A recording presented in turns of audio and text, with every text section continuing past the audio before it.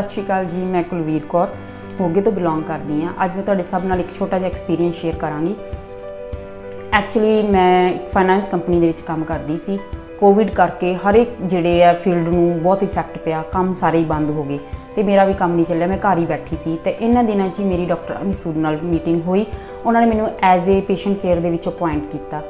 ਤੇ ਮੈਂ ਇੱਥੇ 2 ਮਹੀਨਿਆਂ ਦੇ ਵਿੱਚ ਕੀ ਆਬਜ਼ਰਵ ਕੀਤਾ ਕਿ ਇੱਥੇ ਬਹੁਤ ਦੂਰ ਦੂਰ ਤੋਂ ਪੇਸ਼ੈਂਟ ਆ ਰਹੇ ਨੇ। ਬ੍ਰੈਟ੍ਰਿਕ ਪੇਸ਼ੈਂਟ ਆ ਰਹੇ ਨੇ ਹਰਨੀਆਂ ਦੇ ਪੇਸ਼ੈਂਟ ਆ ਰਹੇ ਨੇ, ਗਾਲ ਬਲੈਡਰ ਦੇ ਆ ਰਹੇ ਨੇ ਸਪੈਸ਼ਲੀ ਔਰਤਾਂ ਦੇ ਰੋਗ ਜਿਵੇਂ ਕਿ ਯੂਟਰਸ ਦੇ ਵਿੱਚ ਫਾਈਬਰੋਇਡਸ ਹੋ ਜਾਂਦੀਆਂ, ਜਿਨ੍ਹਾਂ ਨੂੰ ਬੇਬੀ ਨਹੀਂ ਹੁੰਦਾ, ਉਹ ਵੀ ਆ ਰਹੇ ਨੇ।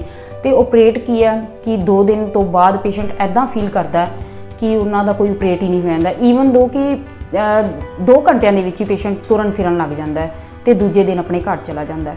ਤੇ ਇਹਦੇ ਵਿੱਚ ਕੋਈ ਵੱਡਾ ਚੀਰਾ ਨਹੀਂ ਲੱਗਦਾ, ਟੂਈ ਦੇ ਵਿੱਚ ਟੀਕਾ ਨਹੀਂ ਲੱਗਦਾ।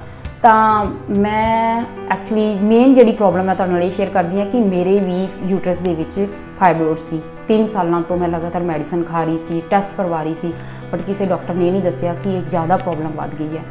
ਤੇ ਜਦੋਂ ਮੈਂ ਸਰ ਨਾਲ ਕੰਸਲਟ ਕੀਤਾ ਬਲਕਿ ਮੇਰਾ ਤਾਂ ਮਨ ਪੇਸ਼ੈਂਟਸ ਨੂੰ ਦੇਖ ਕੇ ਹੀ ਬਣ ਗਿਆ ਸੀ ਬਟ ਫਿਰ ਵੀ ਮੈਂ ਸਰ ਨੂੰ ਕਿਹਾ ਕਿ ਸਰ ਮੈਨੂੰ ਇਦਾਂ ਦੀ ਪ੍ਰੋਬਲਮ ਹੈ। ਸਰ ਨੇ ਮੇਰੀ ਰਿਪੋਰਟਸ ਦੇਖੀਆਂ, ਤਾਂ ਦੁਬਾਰਾ ਚੈੱਕਅਪ ਕਰਵਾਏ, ਤਾਂ ਸਰ ਨੇ ਕਿਹਾ ਕਿ ਤੇਰੀ ਤਾਂ ਪ੍ਰੋਬਲਮ ਬਹੁਤ ਵਧੀ ਪਈ ਹੈ ਬੇਟਾ, ਤੈਨੂੰ ਕਿਸੇ ਡਾਕਟਰ ਨੇ ਦੱਸਿਆ ਨਹੀਂ।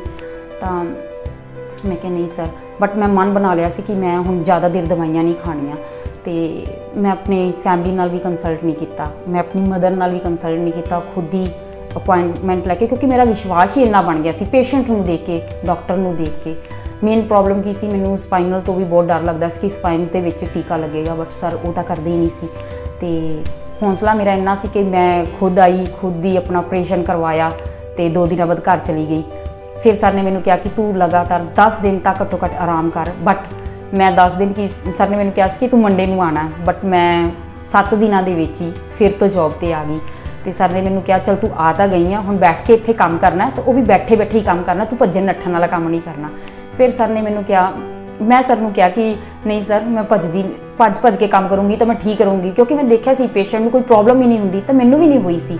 ਮੇਰਾ ਵਿਸ਼ਵਾਸ ਹੀ ਇੰਨਾ ਸੀ। ਤੇ ਅੱਜ ਮੇਰੇ ਆਪਰੇਟ ਨੂੰ 2 ਮਹੀਨੇ ਹੋ ਗਏ, ਮੈਨੂੰ ਕਿਸੇ ਤਰ੍ਹਾਂ ਦੀ ਕੋਈ ਪ੍ਰੋਬਲਮ ਨਹੀਂ ਹੈ। ਮੈਂ ਆਪਦੀ ਵਧੀਆ ਲਾਈਫ ਇੰਜੋਏ ਕਰ ਲਈ ਆ ਮੈਨੂੰ ਮੈਰਿਡ ਲਾਈਫ ਦੇ ਵਿੱਚ ਵੀ ਕੋਈ ਪ੍ਰੋਬਲਮ ਨਹੀਂ ਆ ਰਹੀ। ਵਧੀਆ ਮੈਂ ਤੁਰ ਫਿਰ ਰਹੀ ਹਾਂ, ਵਧੀਆ ਕੰਮ ਕਰ ਰਹੀ ਹਾਂ। ਬਾਕੀ ਮੇਰਾ ਇੱਕ ਛੋਟਾ ਜਿਹਾ ਮੈਸੇਜ ਸਭ ਨੂੰ ਹੈ ਕਿ ਕਿਸੇ ਨੂੰ, ਕਿਸੇ ਲੇਡੀਜ਼ ਨੂੰ ਜਾਂ ਜੈਂਟਸ ਨੂੰ ਵੀ ਕਿਸੇ ਵੀ ਪੇਟ ਦੀਆਂ ਪ੍ਰੋਬਲਮ ਹੈ ਜਾਂ ਮੋਟਾਪੇ ਤੋਂ ਵੀ ਕਿਸੇ ਨੂੰ ਕੋਈ ਪ੍ਰੋਬਲਮ ਹੈ, ਉਹ ਇੱਧਰ ਉੱਧਰ ਨਾ ਭਟਕਦੇ ਹੋਏ ਡਾਕਟਰ ਅਮਿਤ ਸੂਦ ਨੂੰ ਆ ਕੇ ਮਿਲਣ। ਇਹ ਕਿੰਗ ਆਫ ਦਾ ਲੈਪਰੋਸਕੋਪਿਕ ਸਰਜਨ ਨੇ, ਜਿਹੜੇ ਕਿ ਛੋਟੇ ਜਿਹੇ ਸ਼ਹਿਰ ਮੋਗਾ ਦੇ ਵਿੱਚ ਬੈਠਦੇ ਨੇ।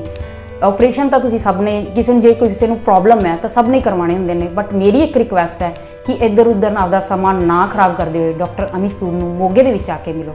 Thank you